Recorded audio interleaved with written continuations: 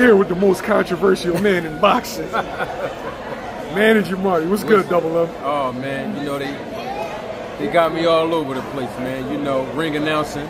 You know when you see me in the bow tie, you know I'm, I'm definitely ring announcing. You know, just got my check. Wait, I feel great. I thought you was with the nation for a second. You know what I'm saying? Hey man, look, I need that protection. You know what I mean? What did he just say on the song? Sometimes you gotta pop out and show. You know what I mean? Nah, I don't need no protection. I'm good. What's good with you? I'm good. What's up? Oh, I'm chilling, man. Slow motion, man. Oh yeah. Marty, news broke. This is a topic that you've been covering really heavy. News broke yesterday. Ryan Garcia suspended.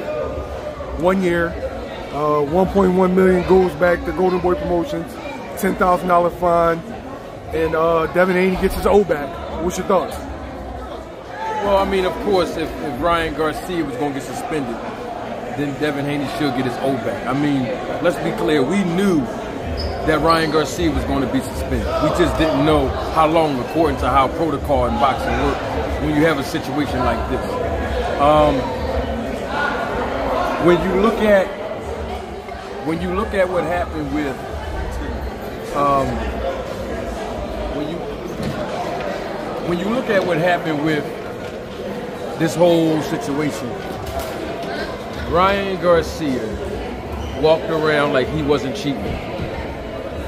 To me, and this is me. Now I know I'm gonna bring some heat on myself for saying this part. 'cause I look, I like to look at the whole picture. So for me, I didn't see where his performance looked enhanced. To me, I'm not saying that um, it didn't have any bearing on his performance. I don't know, but from what I saw, but even in even in this case, he tested positive for a banned substance. What I don't know, and I was sharing this with you off camera, I don't know if intent was proven, whether he intended to actually cheat or not. But if he is, like I always like, like I always say, I'll be the first one to say that Ryan Garcia cheated. If intent can be proven that he actually did this to cheat, and I'm standing by that. If he didn't eh, intend to cheat, what can I say?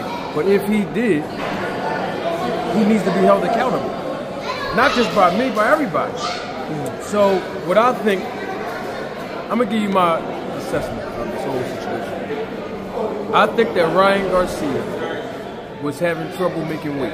Everybody knew that part. But I also believe, and I said this publicly on my channel, I also believe that Ryan Garcia does not have faith in the SNAC program when it comes to Devin Haney. He said it out of his own mouth months before this happened.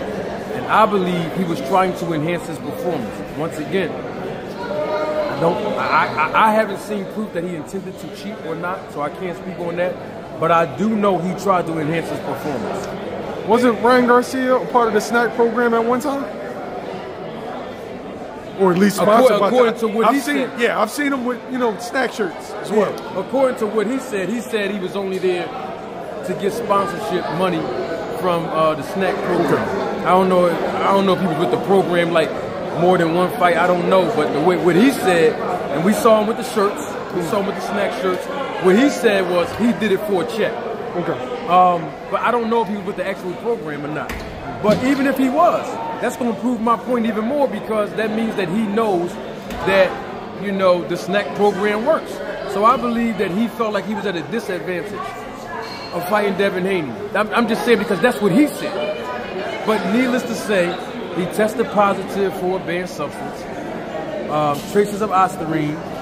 Um, he should have served a suspension. I mean, we knew this was coming down the pipe. We knew this. We just didn't know how long. And it's a year.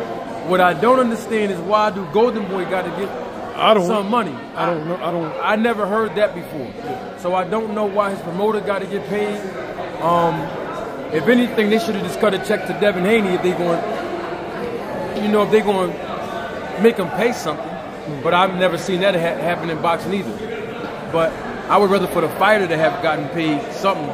If they going to say, well, look, you got to pay us the commission, but then you got to pay your opponent. I guess that's fair, but to pay the promoter, I I don't understand where that came from, but I think at this point, um, he needs to fall back. Everybody in boxing that's cheating needs to fall back. But as we all know, most fighters get their performances enhanced. We just don't know if it's legal or illegal. But I believe that Ryan Garcia was confident that the SNAC program worked, and he was trying to do things to make it an even playing field. I'm not making no excuses for it. Once again, I don't, I can't prove his intent or whether he was like little Jimmy trying to cheat because I didn't see it, I didn't see perform, I didn't see his his performance enhanced. I didn't. I didn't see his um, physique. I didn't see no extra power in the left hook. He looked the same to me. In fact, he was he had stamina issues going into. This is a bad boy right here. I'm telling you, he's gonna be my protege. He's gonna be a bad, bad boy. Y'all better get your hold on manager Marty right the fuck now. Get a hold on him, and that's from the promoter. Just cut me a check. See, listen, listen. I'm not doing nothing for free. I'm here to get the money. I'm, listen, at least I'm being honest about it. I, but I'm here for the love, though. Don't don't let me talk too crazy. I'm here because I love the sport of boxing. But I'm going to transcend managing, podcasting, ring announcing. You might see me next week being the inspector. You just never know. Wherever the check is, where I can get it now. See, I've been waiting all these years to get paid right up front. But it's never going to happen in boxing. As long as you're a manager, you got to get the percentage of the purse. I need the money up front now. I got expenses. That's all I'm saying. Marty.